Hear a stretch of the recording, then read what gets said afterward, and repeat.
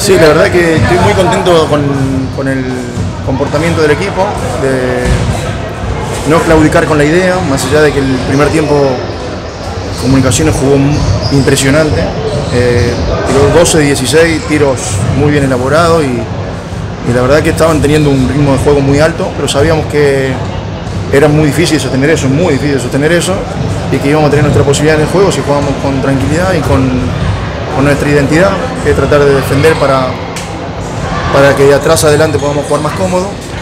Y la verdad que nos salió bien, tercer cuarto solamente encajamos 10 puntos y sobre todo el equipo empezó a pasarse la pelota, a encontrar los espacios, eh, castigamos cada mala ayuda de ellos y sobre todo tuvimos acertado el último cuarto que, que es donde se definen los partidos y pudimos dar vuelta a un partido realmente difícil por cómo estaba y ante un rival de la jerarquía de comunicaciones. Que fueron dos partidos diferentes, ¿no? Uno en un primer tiempo y después totalmente eh, distinto en el segundo tiempo, referente a ustedes que dejaron a comunicaciones solamente con 27 puntos en esa segunda mitad. Sí, eh, yo ahí adentro no le había dicho que estábamos defendiendo mal, porque realmente no estábamos defendiendo mal, sino que creo que en ese sentido, en ese aspecto nos había sobrepasado el juego de comunicaciones. O sea, podíamos mejorar algunas cosas defensivas, pero no lo estábamos haciendo mal como para enojarse por, por es- por esa situación. Tenemos que ajustar algunas cosas eh, que hicimos en el segundo tiempo, pero sobre todo pudimos controlar ese ritmo con el que estaban jugando. Entonces le sacamos ese ritmo, lo hicimos tirar ya más incómodo y el juego cambió. Cuando, no empezaban a meter cada ataque como el primer tiempo, yo me imagino que ellos empezaron a sentir una presión cada tiro que había, a tener que, que encestar y cuando nos pusimos por arriba fue un golpe psicológico para ambos equipos y bueno, nosotros salimos beneficiados en eso.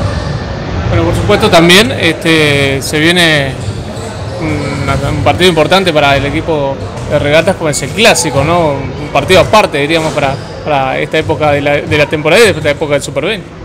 Sí, es lindo. Justo venimos los dos equipos además con buena racha. eh, así que va a ser un partido lindo.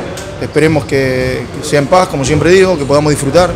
Creo que el año pasado vivimos unas fiestas muy buenas entre ambos equipos y, y bueno, ojalá también se dé el, resultado del año pasado, que podamos ganar ahí en, de visitante. Va a ser difícil, pero bueno, vamos a preparar el partido para tratar de, traernos el triunfo.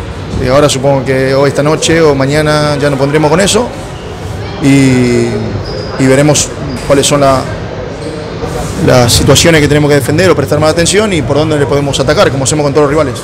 Estamos bien, soy consciente, no hay que relajarse, hay que seguir trabajando, siguiendo con, la idea de, que nos plasmamos en el primer, desde el primer momento con todos los jugadores y, nada, ir creciendo partido a partido como lo estamos haciendo. Hoy fue una, prueba muy buena de carácter del equipo porque no habíamos estado en estos tres partidos por debajo en el marcador por tanta diferencia y, y bueno, supimos plantarnos bien y seguir adelante con el plan y eso me reconforta como entrenador. Se cortan los dos equipos correntinos también en este grupo. Sí, ahora, ahora se- con 4-0 los dos se pone difícil, sí, para los demás, pero no, no, no, no significa demasiado si es que nosotros vamos a pensar en el resultado.